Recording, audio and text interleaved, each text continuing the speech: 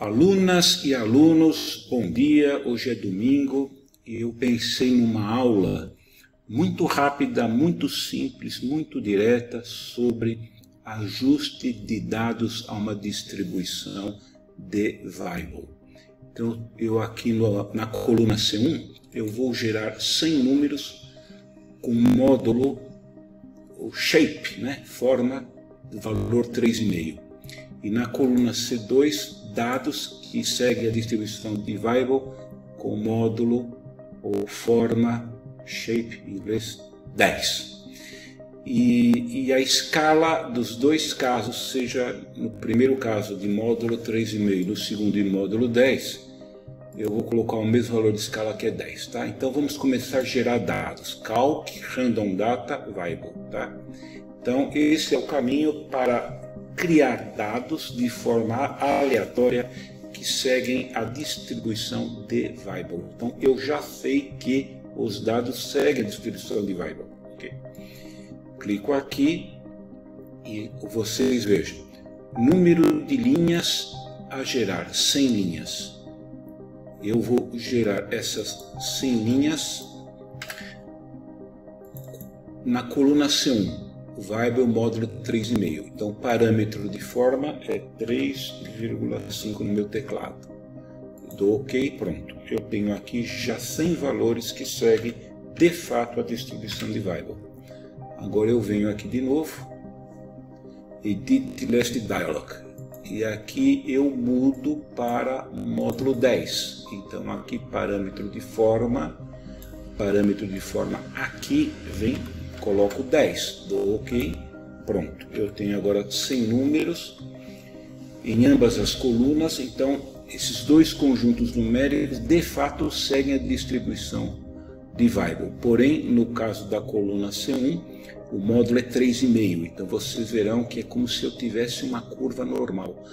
Quando o módulo de Weibull é 3,5, então é a curva normal, simétrica. Quando o módulo igual a 10, que característica do material cerâmico, daí já tem uma curva assimétrica. Agora, esses valores eu vou colocá-los em ordem crescente. Então eu vou utilizar, eu vou abrir a, a janela de comando por meio de Ctrl L, uma, um, um dedo um dedo na tecla Ctrl e a outra na L e daí aparece uma janela de comandos, né? E daí na janela de comandos eu vou escrever sorte C1 C1, né? E depois eu escrevo sorte C2 C2. Então o que acontece? Eu terei os dados em ordem crescente, ok? Vejam, Ctrl L, janela de comandos aí. C1, C1, C2, C2, pronto. Eu já tenho eles ordem do menor número ao maior. Então os dados vão do valor 3 ao valor 15 na coluna C1 e na coluna C2 eles vão do valor 5 ao valor 11, ok? Bom, como é que eu faço rapidamente? Assim, graph, histograma com ajuste. Primeira regra de análise de dados é fazer gráfico. Vamos fazer a figura do histograma com ajuste à distribuição de Weibull. Então aqui, ó, tecla, aperta, a tecla F3 apaga tudo, rapidinho. Os dados são da coluna C1, módulo 3,5. Está vendo aqui Data View? Aqui eu venho distribuição, ajuste. Aqui não é a normal que eu estou querendo. Estou querendo a de Weibull. Cadê o Weibull? Opa, está aqui Weibull clico OK. Então, senhores, aqui está a distribuição de Weibull. Como bem falei para vocês, ela está muito simétrica. Né? Se eu clicar aqui nesse eixo, eh, eu terei um intervalo, aqui tem 12 intervalos, se eu reduzir para 10, fica mais parecido realmente a uma curva normal. Né? Por quê? Porque o, o, a, o shape está com valor perto de 3,5, tá? Como eu gerei dados, eu dei um valor aproximado, ok? Se eu gerar novamente os dados, eu posso aqui é, gerar novamente os dados. Eu posso ser calc, distribuição de probabilidade e Weibull, para ver se eu consigo melhor ajuste. Perdão, calc, random data variable. Então eu venho aqui, eu quero gerar novamente, tá? Quero ver se eu consigo o melhor ajuste. Pronto. Agora eu dou sorte, C1. Então agora os valores vão de 1 a 15, tá? Então agora eu vou fazer novamente, eu vou apagar aqui o, o que eu fiz antes, apaguei, e agora eu vou fazer novamente o histograma aqui, vamos ver se ficou melhor ajuste, com ajuste, módulo 3.5, data view, distribuição, vibe, ok, vamos ver se ficou melhor. Olha, ficou bem melhor, agora eu já tenho aqui 3,6 o parâmetro de forma, tá? Se eu, eu clicando aqui, eu vejo que eu tenho 16 intervalos. Se eu colocar 12, o que acontece? Melhorou. Agora eu tenho um melhor ajuste.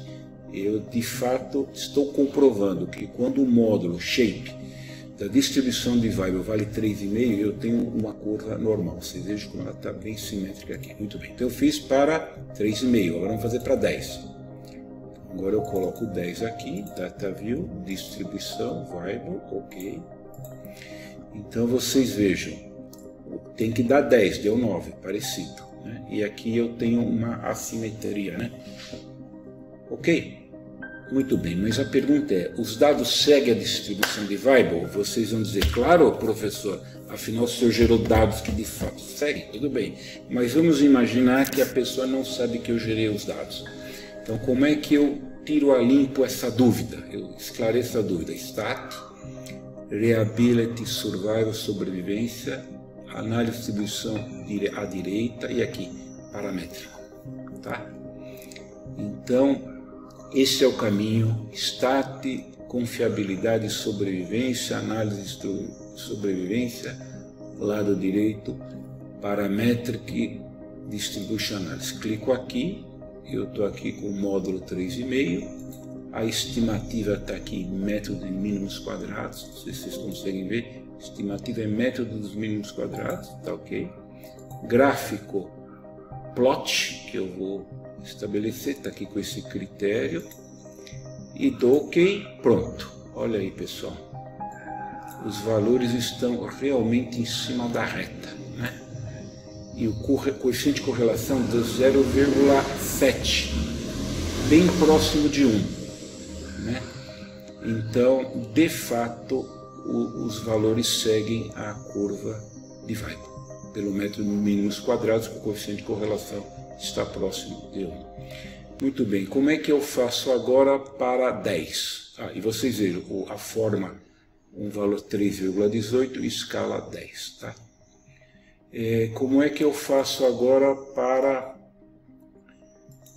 o caso de 10? Mesma coisa.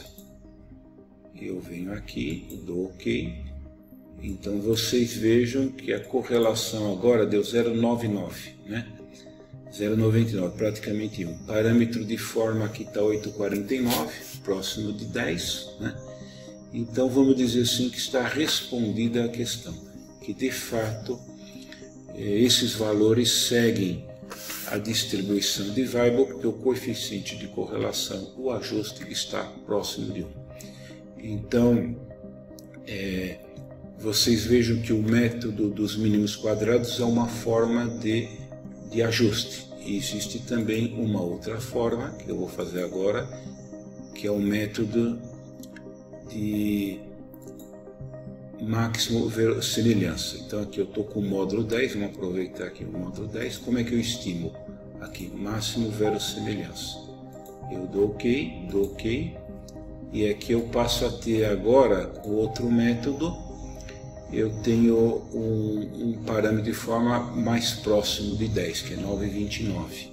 Enquanto que no outro caso, método mínimos quadrados eu tinha 8,49. Então, nesse caso, vemos que o método de máximo verossimilhança ele tem um parâmetro de forma mais próximo do 10. Então, é, eu espero que tenham entendido e agradeço a atenção. Obrigado.